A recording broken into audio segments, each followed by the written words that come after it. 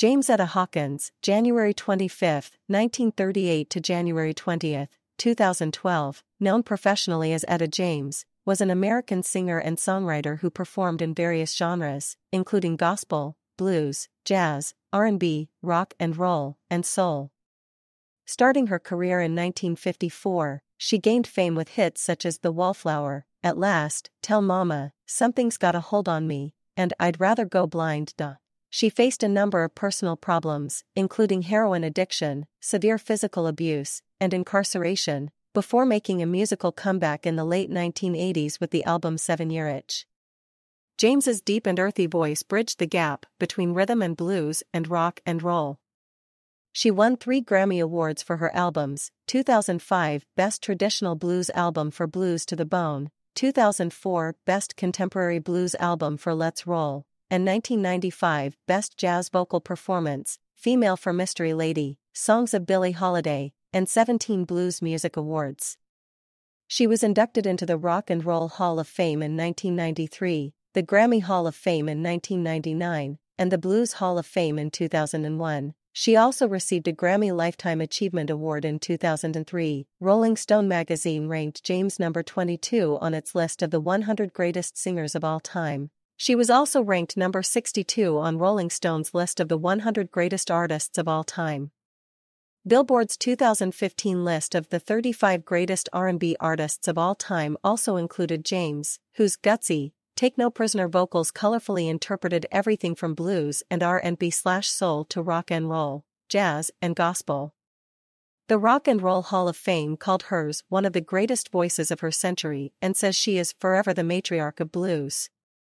James frequently performed in Nashville's famed R&B clubs on the so-called Chitlin circuit in the 1940s, 1950s, and 1960s. Life and career 1938 to 1959. Childhood and career beginnings Jamesetta Hawkins was born on January 25, 1938, in Los Angeles, California, to Dorothy Hawkins, who was 14 at the time. Although her father has never been identified, James speculated that she was the daughter of pool player Rudolf Minnesota Fats Wanderone, whom she met briefly in 1987. Her mother was frequently absent from their apartment in Watts, conducting relationships with various men, and James lived with a series of foster parents, most notably Sarge and Mama Lou.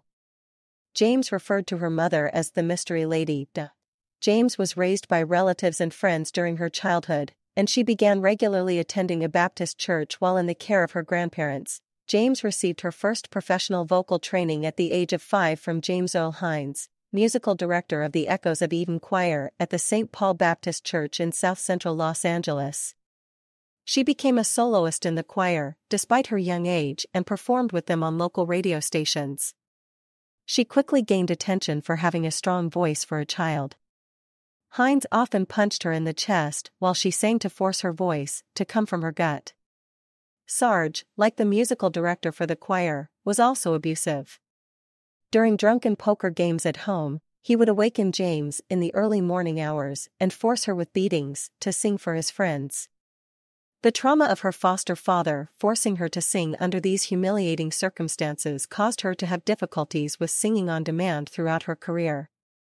In 1950, Mama Lou died, and James's biological mother took her to the Fillmore district of San Francisco. Within a couple of years, she began listening to doo-wop and was inspired to form a girl group, the Creolettes, so named for the members' light-skinned complexions. At the age of 14, she met musician Johnny Otis. Stories on how they met vary. In Otis's version, she came to his hotel after one of his performances in the city and persuaded him to audition her. Another story was that Otis spotted the Creolettes performing at a Los Angeles nightclub and sought for them to record his answer song to Hank Ballard's Work With Me, Annie. Otis took the Creolettes under his wing and helped them sign to Modern Records, at which point they changed their name to Peaches. At this time Otis also gave James her stage name, transposing Jamesetta, her given first name, into Etta James. Citation needed, in 1954, James recorded and was credited as co-author for The Wallflower, a title change to the aforementioned song, Work With Me, Annie, which was released in early 1955. The original title of the song was actually Roll With Me, Henry, but it had been changed to avoid censorship at the time, roll implying sexual activity. In February 1955, the song reached number one on the Hot Rhythm and Blues Tracks chart. Its success also gave the Peaches an opening spot on Little Richard's national tour.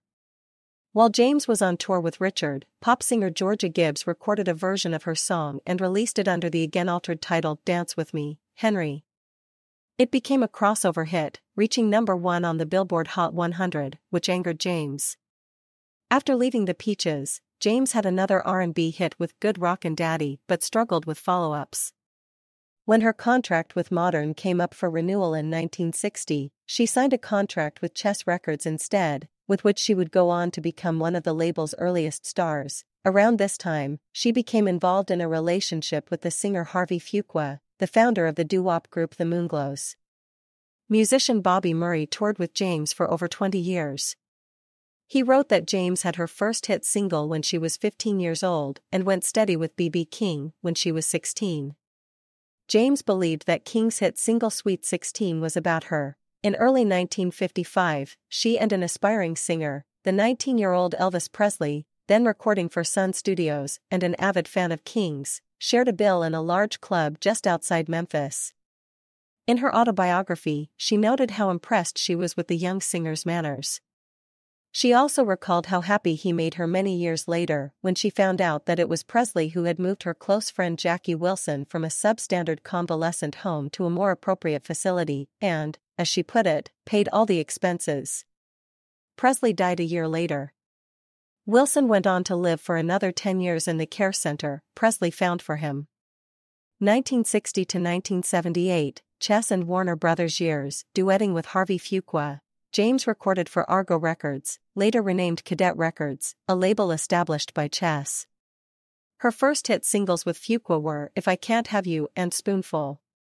Her first solo hit was the doo-wop, styled rhythm and blues song All I Could Do Was Cry, which was a number 2 R&B hit. Chess Records co-founder Leonard Chess envisioned James as a classic ballad stylist who had potential to cross over to the pop charts and soon surrounded the singer with violins and other string instruments, the first string-laden ballad James recorded was My Dearest Darling in May 1960, which peaked in the top 5 of the R&B chart. James sang background vocals for her labelmate Chuck Berry on his Back in the USA. Her debut album, At Last, was released in late 1960 and was noted for its varied selection of music, from jazz standards to blues to doo-wop and rhythm and blues, R&B, the album included the future classics I Just Want to Make Love to You and A Sunday Kind of Love. In early 1961, James released what was to become her signature song, At Last, a Glenn Miller tune, which reached number 2 on the R&B chart and number 47 on the Billboard Hot 100. Though the record was not as successful as expected, her rendition has become the best-known version of the song. James followed this with Trust in Me, which also included string instruments, Later that same year, 1960, James released a second studio album, the second time around. The album took the same direction as her first, covering jazz and pop standards and with strings on many of the songs. It produced two hit singles, Fool That I Am and Don't Cry Baby. James started adding gospel elements in her music the following year, releasing Something's Got a Hold on Me, which peaked at number 4 on the R&B chart and was a top 40 pop hit. That success was quickly followed by Stop the Wedding, which reached number 6 on the R&B chart and also had gospel elements. In 1963, she had another major hit with Pushover and released the live album Etta James Rocks the House, recorded at the New Era Club in Nashville, Tennessee. After a couple of years of minor hits, James's career started to suffer after 1965. After a period of isolation, she returned to recording in 1967 and re-emerged with more gutsy R&B numbers thanks to her recording at the legendary Fame Studios in Muscle Shoals, Alabama. These sessions yielded her comeback hit Tell Mama, co-written by Clarence Carter, which reached number 10 on the R&B chart and number 23 for pop. An album of the same name was also released that year and included her take on Otis Redding's Security, the B-side of Tell Mama was I'd Rather Go Blind, which became a blues classic and has been recorded by many other artists. In her autobiography, Rage to Survive, she wrote that she heard the song outlined by her friend Ellington Fugi Jordan when she visited him in prison. According to her account, she wrote the rest of the song with Jordan, but for tax reasons gave her songwriting credit to her partner at the time, Billy Foster. Following this success, James became an in-demand concert performer, though she never again reached the heyday of her early to mid-1960s success. Her records continued to chart in the R&B top 40 in the early 1970s, with singles such as Losers Weepers, 1970, and I Found a Love, 1972. Though James continued to record for Chess, she was devastated by the death of record executive Leonard Chess in 1969. James ventured into rock and funk with the release of her self-titled album in 1973, with production from the famed rock producer Gabriel Mekler, who had worked with Steppenwolf and Janis Joplin. Joplin had admired James and had covered Tell Mama in concert. James' 1973 album, exhibiting a mixture of musical styles, was nominated for a Grammy Award. The album did not produce any major hits, however, and neither did the follow up album, Come a Little Closer, in 1974, though, like 73's Etta James before it, the album was also critically acclaimed. In 1975, James opened up for comedian Richard Pryor at the Shubert Theater in Los Angeles. James continued to record for Chess, now owned by All Platinum Records, releasing one more album in 1976, Etta is Better Than Eva. Her 1978 album Deep in the Night, produced by Jerry Wexler for Warner Brothers, incorporated more rock-based music in her repertoire. That same year, James was the opening act for the Rolling Stones and performed at the Montreux Jazz Festival. Following this brief success, however, she left Chess Records and did not record for another 10 years while she struggled with drug addiction and alcoholism. 1982 to 1998, continued performances and returned to recording James performing in 2000 amid her hiatus from recording. James still performed on occasion through the early and mid 1980s, including two guest appearances at Grateful Dead concerts in December 1982, and was a guest on John Mayall's Bluesbreakers 1982 reunion show in New Jersey. In 1984, she contacted David Wolper and asked to perform in the opening ceremony of the 1984 Summer Olympics, at which she sang When the Saints Go Marching in. Dot. In 1987, she performed rock and roll music with Chuck Berry in the documentary film Hail. Hail, Rock and Roll.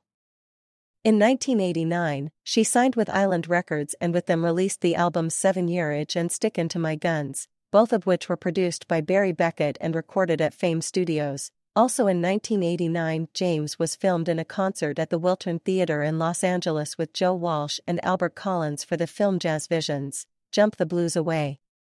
Many of the backing musicians were top flight players from Los Angeles Rick Rosas, bass, Michael Huey, drums, Ed Sanford, Hammond B3 organ, Kip Noble, piano, and Josh Sklar, James' longtime guitar player. James participated with the rap singer Def Jeff on the song Droppin' Rhymes on Drums, which mixed James's jazz vocals with hip hop. In 1992, she recorded the album The Right Time, produced by Jerry Wexler, for Elektra Records. She was inducted into the Rock and Roll Hall of Fame in 1993. James signed with Private Music Records in 1993 and recorded a Billie Holiday tribute album, Mystery Lady Songs of Billie Holiday. The album set a trend of incorporating more jazz elements in James's music. The album won James her first Grammy Award for Best Jazz Vocal Performance, Female, in 1994. In 1995, her autobiography, Rage to Survive, co-written with David Ritz, was published. Also in 1995, she recorded the album Time After Time. A Christmas album, 12 Songs of Christmas, was released in 1998. By the mid 1990s, James's earlier music by now considered classic was being used in commercials, including I Just Wanna Make Love to You, for example. After an excerpt of that song was featured in a Diet Coke advertising campaign in the UK, the song again charted, reaching the top 10 on the UK charts in 1996. By 1998, with the release of Life, Love and the Blues, James had added as backing musicians her own sons, Donto and Sametto, on drums and bass, respectively, they were part of her touring band. She continued recording for private music, which released the blues album Matriarch of the Blues in 2000, on which she returned to her R&B roots. 2001 to 2011, later years and legacy in 2001, she was inducted into the Blues Hall of Fame and the Rockabilly Hall of Fame, the latter for her contributions to the developments of both rock and roll and rockabilly. In 2003, she received a Grammy Lifetime Achievement Award. On her 2004 release, Blue Gardenia, she returned to a jazz style. Her final album for private music, Let's Roll, released in 2005, won the Grammy Award for Best Contemporary Blues Album. In 2004, Rolling Stone magazine ranked her number 62 on its list of the 100 greatest artists of all time. James performed at the top jazz festivals in the world, such as the Montreux Jazz Festival in 1977, 1989, 1990, and 1993. She performed nine times at the legendary Monterey Jazz Festival and five times at the San Francisco Jazz Festival. She performed at the Playboy Jazz Festival in 1990, 1997, 2004, and 2007. She performed six times at the North Sea Jazz Festival in 1978, 1982. 1989, 1990, 1991, and 1993, she performed at the New Orleans Jazz and Heritage Festival in 2006 and 2009, prior 2012 credit after date of death. She also often performed at free summer arts festivals throughout the United States. James at the 2006 Common Ground Festival in Lansing, Michigan in 2008, James was portrayed by Beyonce Knowles in the film Cadillac Records, a fictional account of Chess Records, James's label for 18 years, about how label founder and producer Leonard Chess helped the careers of James and others. The film included At Last, performed by Beyonce. Knowles was invited to perform the song at Barack Obama's inaugural ball. In the following weeks, James publicly complained that Beyonce was singing my song, but later added that her critical remarks were meant to be received as a joke and stemmed from personal hurt over not having been invited to the sing the song herself for the Obama inauguration. It was later reported that Alzheimer's disease and drug induced dementia had contributed to her negative comments about Knowles. In April 2009, at the age of 71, James made her final television appearance, performing at last on the program Dancing with the Stars. In May 2009, she received the Soul Slash Blues Female Artist of the Year award from the Blues Foundation, the ninth time she won that award. She carried on touring, but by 2010 had to cancel concert dates because of her gradually failing health. By this time, she was suffering from dementia and leukemia. In November 2011, James released her final album, The Dreamer, to critical acclaim. She announced her retirement at the time of its release. James' enduring relevance was affirmed in 2011 when the Swedish DJ Avicii achieved substantial chart success with the song Levels, which samples her 1962 song Something's Got a Hold on Me. The same sample was used by the East Coast rapper Flo Rida in his 2011 hit single, Good Feeling. Both artists issued statements of condolence upon James's death. James' original classic music again charted after these 21st century reinterpretations. Style and influence James possessed the vocal range of a contralto. Her musical style changed during the course of her career. At the beginning of her recording career, in the mid-1950s, James was marketed as an R&B and doo-wop singer. After signing with Chess Records in 1960, James broke through as a traditional pop-styled singer, covering jazz and pop music standards on her debut album. At last, James's voice deepened and coarsened, moving her musical style in her later years into the genres of soul and jazz. James was once considered one of the most overlooked blues and R&B musicians in the music history of the United States. It was not until the early 1990s, when she began receiving major industry awards from the Grammys and the Blues Foundation, that she received wide recognition. In more recent years, when she has been hailed as a pioneer who helped bridge the gap between rhythm and blues and rock and roll and thereby contributed significantly to American musical history, James has influenced a wide variety of musicians, including, notably, Diana Ross, Christina Aguilera, Janis Joplin, Brandy, Bonnie Raitt, Shemekia Copeland, Beth Hart, Hayley Williams of Paramore, and Brent Smith of Shinedown, as well as British artists The Rolling Stones, Elkie Brooks, Paloma Faith, Joss Stone, Rita Ora, Amy Winehouse, and Adele, and the Belgian singer Dani Klein. In particular, her song Something's Got a Hold on Me has been recognized in many ways. Brussels music act Vaya Con Dios covered the song on their 1990 album Night Owls. Another version, performed by Christina Aguilera, was in the 2010 film Burlesque. Pretty Lights sampled the song in Finally Moving, followed by Avicii's dance hit Levels, and again in Flo Rida's single Good Feeling. British blues band Chicken Shack recorded Etta James' 1967 single I'd Rather Go Blind, which ended up becoming very successful for the band, with Christine McVie singing lead vocals. The single was successful enough that it garnered Christine McVie the top female singer on the Melody Makers Readers Poll in 1969. Personal life religion, through her mother, Dorothy, James was introduced to the Nation of Islam. Dorothy attended occasional meetings at Nation of Islam Temple No. 27 in Los Angeles, and would return to her daughter to relay the teachings, under the care of her grandparents. However, James was raised Baptist, in her adult years, James and a friend began attending a NOI temple in Atlanta, where she found comfort in the preaching of Minister Louis X and the sense of racial pride. She took on the name Jamesetta X and later joined Malcolm X's temple in Harlem, where she remained a member for about a decade. It was in Harlem that James became friends with young boxer Cassius Clay, who later became famous boxing legend Muhammad Ali. However, she confessed she didn't strictly follow their beliefs, later reflecting that it was something of a fad and the radical, the in thing to do at the time. She continued to consume pork and wear non conservative clothing during her membership. Marriage and children James was married to Artis Mills from 1969 until her death in 2012.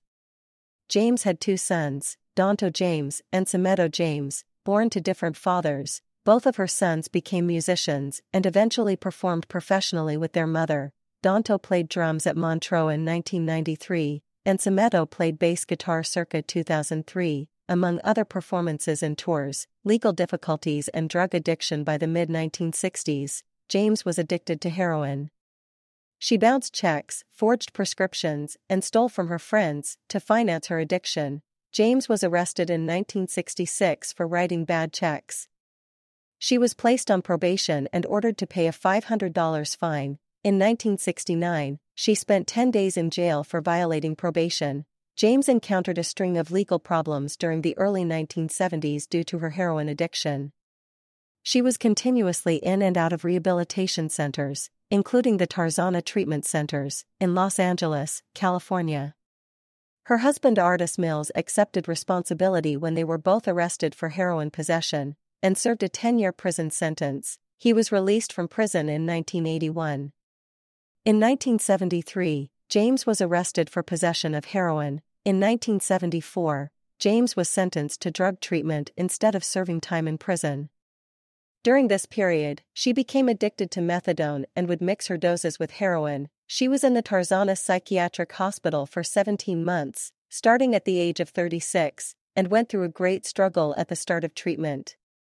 In her 1995 autobiography Rage to Survive, she said that the time she spent in the hospital changed her life.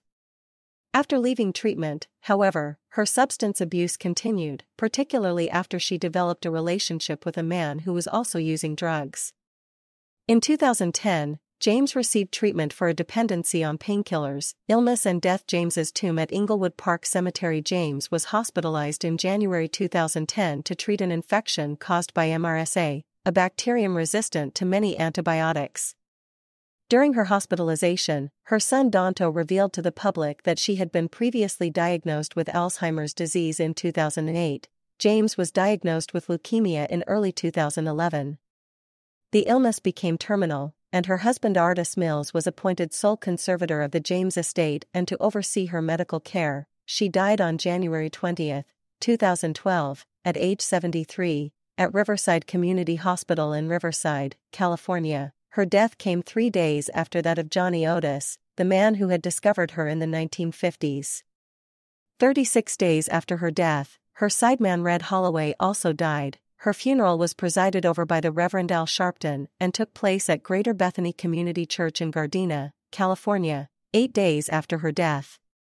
Stevie Wonder and Christina Aguilera gave musical tributes. She was buried at Inglewood Park Cemetery in Los Angeles County, California.